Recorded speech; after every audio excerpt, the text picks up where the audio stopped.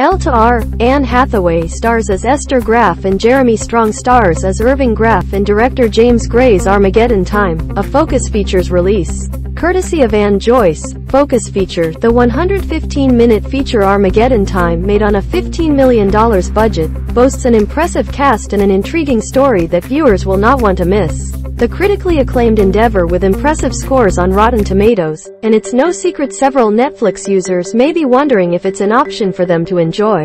The movie Finland Empire called A Searing Portrait of America is written and directed by James Gray, who has a slew of notable credits under his belt, including Ad Astra, The Lost City of Z, and We Own the Night. The captivating narrative is a coming-of-age story about an American Jewish student named Paul Graff who struggles with his experiences witnessing prejudice towards his African-American friend Johnny and himself.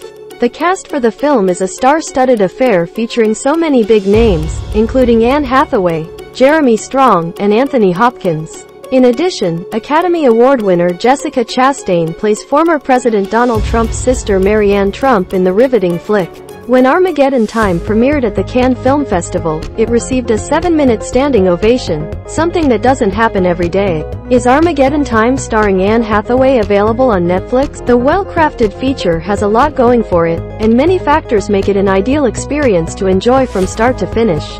However, do not fear because the streaming service offers many excellent alternatives where you can stream Armageddon Time starring Anne Hathaway. Armageddon Time received a limited release on October 28, 2022. On November 4, 2022, the motion picture will expand nationwide. You can check out the trailer below.